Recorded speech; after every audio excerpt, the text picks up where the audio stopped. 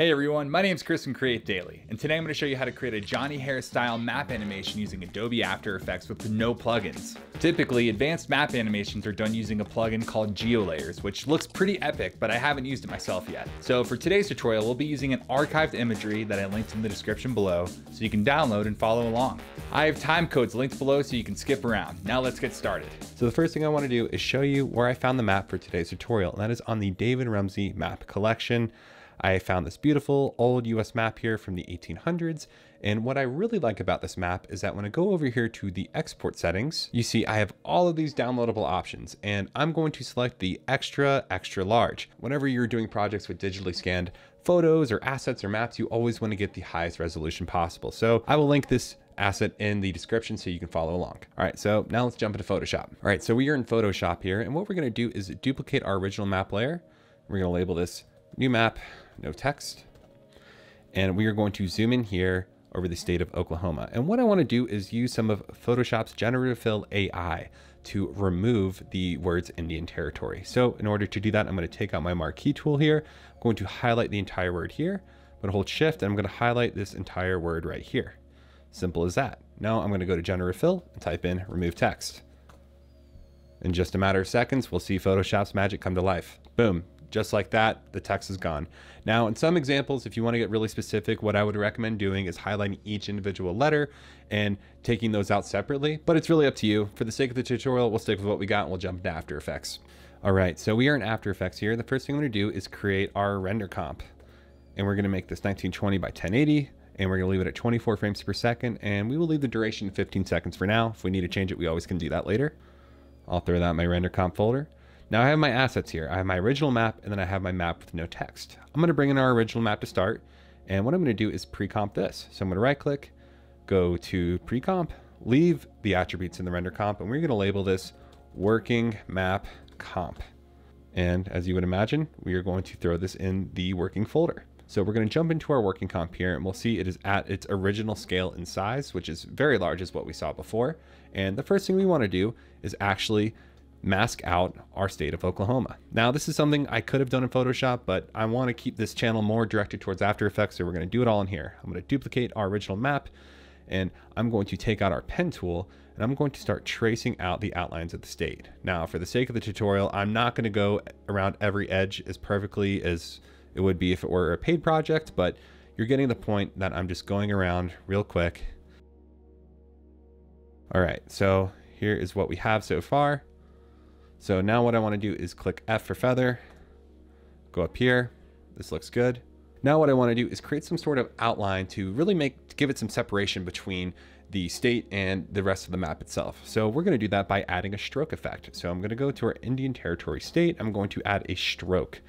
And right away, we'll see here, we have a little bit of a white line, but we're going to beat that up a little bit. We'll make it like, let's say six.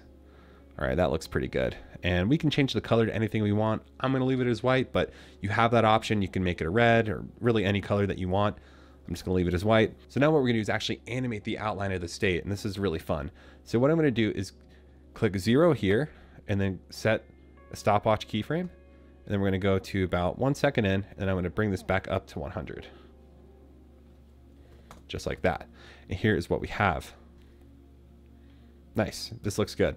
Now what I want to do is click on our keyframes here, and I'm going to go to Flow, and I'm going to, uh, and Flow is this paid plugin that I use, and they have all these fun presets uh, baked in. I'm just going to use the Circ uh, default preset that I like using, and that's going to give it just some fun easing just like that. So here's what we have so far. It looks okay, but I think, still think it could use some better separation between the state itself and the background. So we're going to add a fun shape layer, and I have this dark gray right here. This is the hex code that I'm using in case you want to use the same exact one.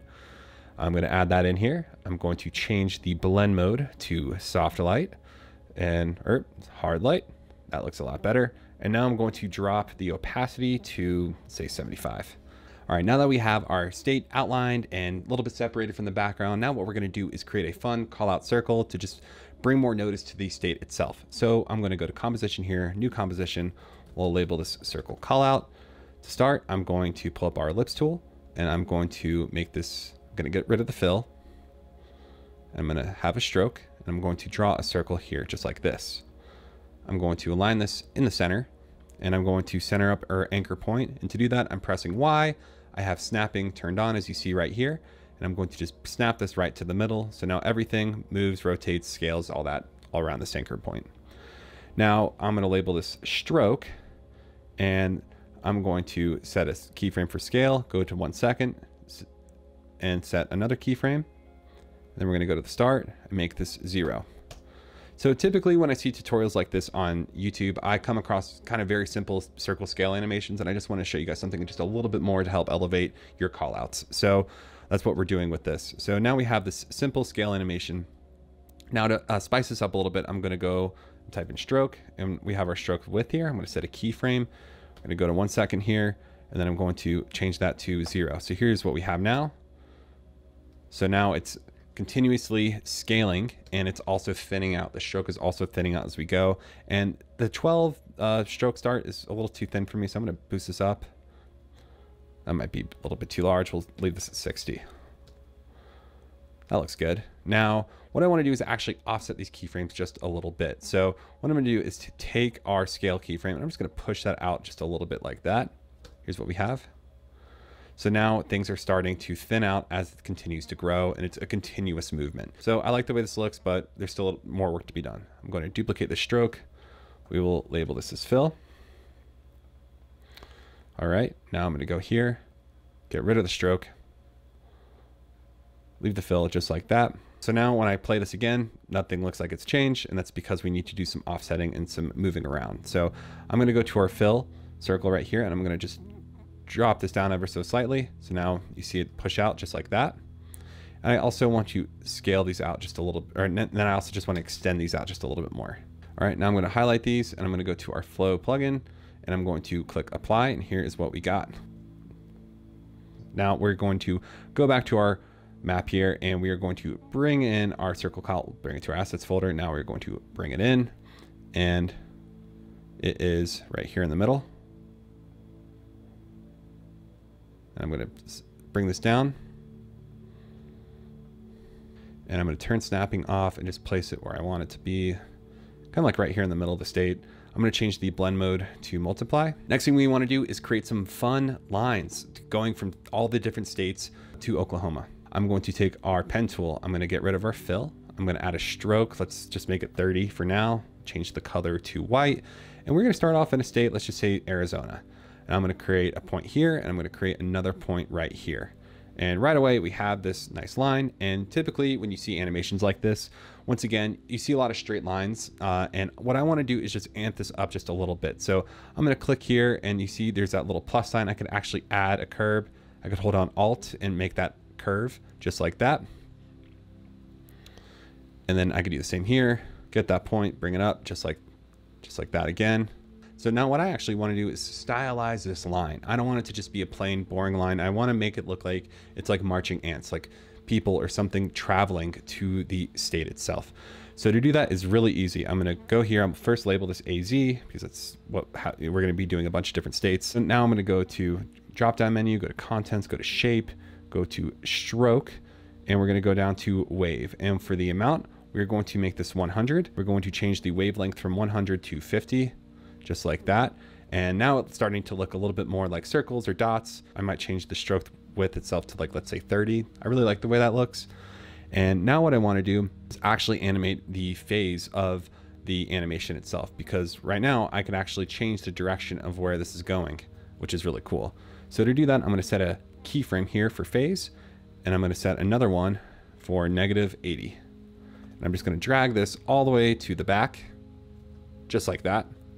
And here is what we got.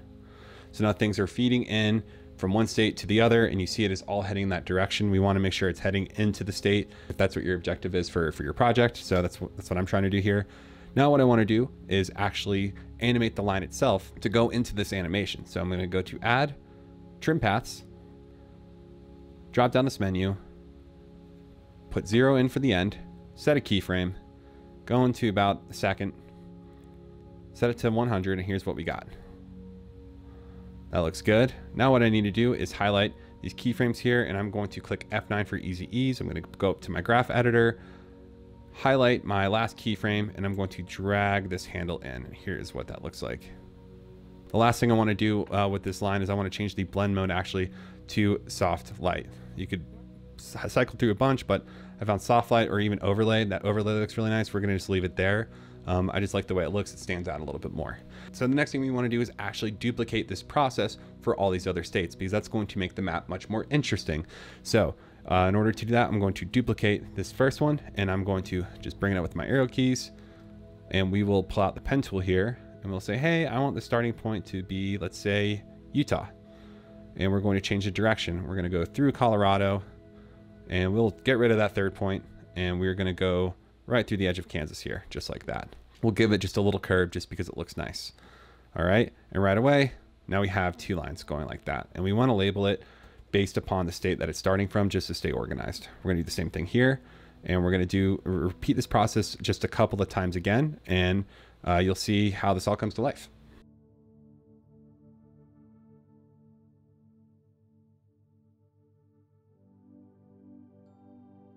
All right, so now we have all of our state lines coming in and the next thing we wanna do is start offsetting some of these keyframes here because we don't want everything animating in at the same time.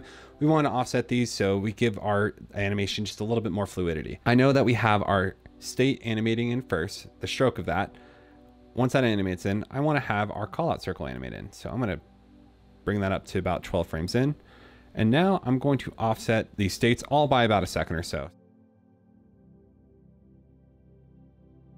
The next thing we're going to do is actually create our ink bleed. And what we want to do is, as you remember before, we removed this text, Indian Territory. Now, the purpose of this is to start off as an Indian Territory and then change the text and the lettering of this to something else. So that is why we created that extra map. So I'm going to duplicate our Indian Territory state. I'm going to go to map no text. I'm going to hold down Alt. I'm going to click and drag on top and right away you're going to see it disappear just like that. Now what we need to do is create the ink bleed itself. So I'm going to go to assets here, composition, new composition. We will call this ink bleed reveal. All right. And I love using ink bleeds. Uh, there's tons to download online. I just want to show you guys how to make your own because I think it's a pretty fun exercise. So I'm going to create a, just a white circle here, center this up, and I'm going to put our anchor point right here in the middle, turn snapping on, boom. Okay, now to start, what I'm going to do is set a uh, scale keyframe and I'm going to go to about, let's say like one and a half seconds, set another one. This is what we have so far. And what we're going to basically be doing is we're going to be revealing our new image using the white information, the luminance of the circle. So that is part of this process. So right now we have this animated circle right here and we want to make it look just a little bit spicier because this is a little boring. So to start, we're going to add a repeater. All right, and we're going to play around with this repeater we're going to bring our position in to let's say zero. We're going to scale things to 110 and to our end opacity, we're going to drop that to zero as well. And we'll continue to play around with the position.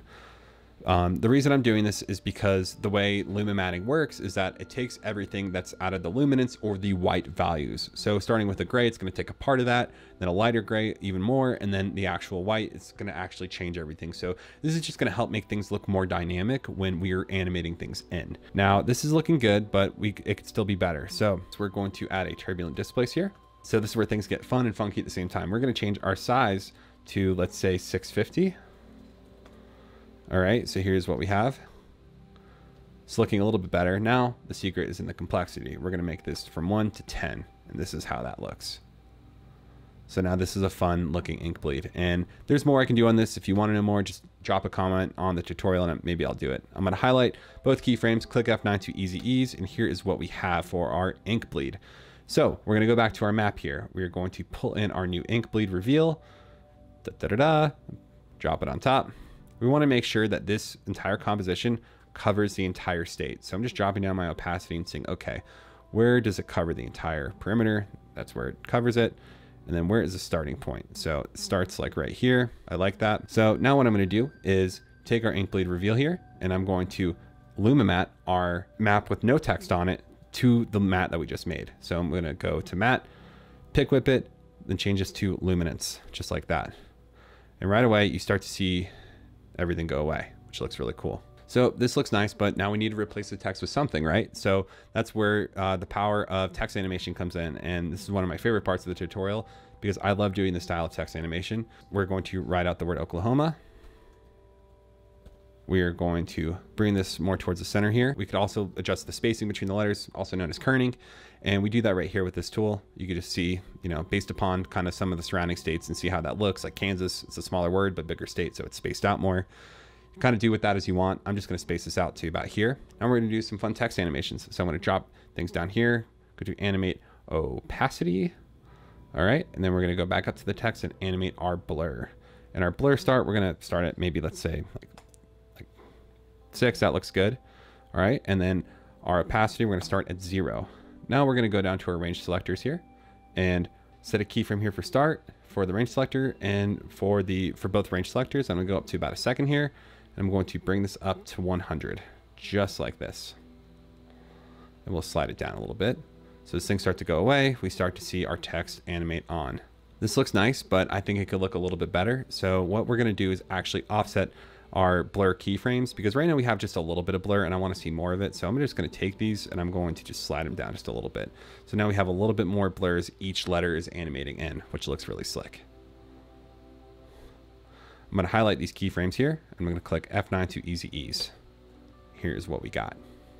So here's what we have so far. We have our fun map animation, we have this callout circle, the state lines, and the Luma matte taking away our original text, which looks really cool. Everything's been, everything we've been working on has been in this working map comp folder. We're actually gonna go to our, our render comp now, and we're gonna fit this right here.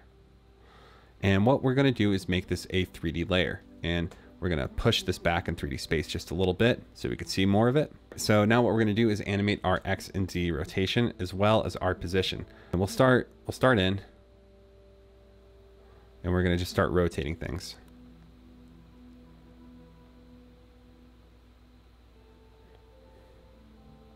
This is very much so a push and pull for, you know, what you're liking and what you're into or, you know, how you want your map to look. It's really completely up to you. But what I want to do is actually kind of start low and then just reveal it from one from the left side to the other. So we're going to start here and then we're going to go a couple seconds in.